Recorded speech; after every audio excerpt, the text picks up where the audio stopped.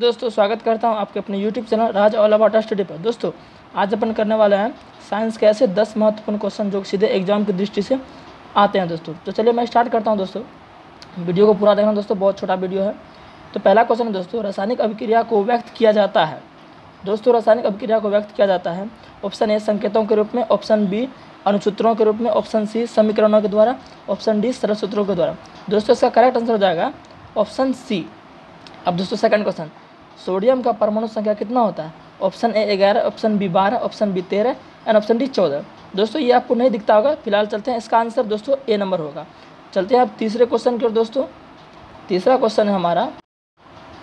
तीसरा क्वेश्चन दोस्तों हमारा, धोने के सोडा का सूत्र क्या होता है? धोने के सोडा का सूत्र option A N A two C O three option B N A H C O three option C N A two C O three and option D N A C L दोस्तों, इसका answer A हो जाएगा। मैंने यहाँ पर ten H two O नहीं लिखा है तो ये एन ए टू सी और N A two C O three और टेन एच टू होता है, दोनों एक साथ मिलकर होता है तो दोनों का सूत्र होगा। तो ऑप्शन नंबर ए इसका क्या हो जाएगा? करेक्ट आंसर अब दोस्तों चौथे क्वेश्चन है कार्बन के कितने अप्रूप हैं? ऑप्शन ए दो ऑप्शन बी तीन, चार, पाँच। दोस्तों इसका करेक्ट आंसर हो जाएगा ऑप्शन नंबर ए इसका दो अप्रूप दोस्तों क्या है? एक है हीरा और एक दोस्तों ग्रेफाइट। आप सब जानते होंगे? तो चलिए, चलते हैं हम पाँचवें क्वेश्चन की ओर। पाँचवा क्वेश्चन दोस्तों हमारा। पाँचवा क्वेश्चन है, बेकिंग सोडा का सूत्र क्या है? बहुत ईजी है दोस्तों, आप सबने पढ़ा होगा। इसका सूत्र दोस्तों option A N A H C three option B C A C L two option D sorry option B C A C L two option C N A two C O three and option D B S C L two दोस्तों, इसका correct answer हो जाएगा option number A N A H C O three दोस्तों, इसको sodium carbonate भी बोलते हैं। तो इसका आंसर ए हो जाएगा N H C O three छठा क्वेश्चन दोस्तों व्यंजक चूर्ण का सूत्र क्या होता है?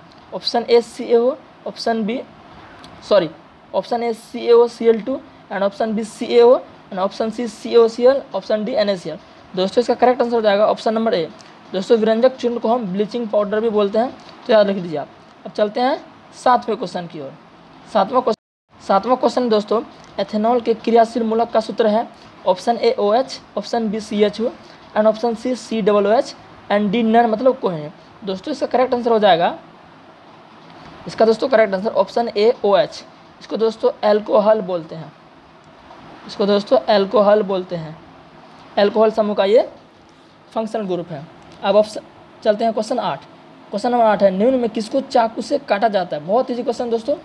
ऑप्शन है एन ए मतलब sodium option B F E मतलब लोहा and C M G magnesium and D H helium दोस्तों, इसका करेक्ट आंसर हो जाएगा option number A sodium NO को दोस्तों सोडियम बोलते हैं. तो सोडियम को अब आसानी से चाकू से काट सकते हैं. अब चलते हैं हम नमक क्वेश्चन दोस्तों हमारा. आयोडीन की कमी से कौन सा रोग होता है? ऑप्शन ए मधुमेह. Option B scurvy and option C AIDS and option D घेगा दोस्तों, इसका करेक्ट आंसर हो जाएगा घेगा और क्वेश्चन नंबर दस दोस्तों, इस इस वीडियो का लास्ट क्वेश्चन है। अम्ल का पीएच मान होता है दोस्तों, सात से कम, सात से ज़्यादा, या सात या आठ। दोस्तों, इसका करेक्ट आंसर हो जाएगा, सात से कम।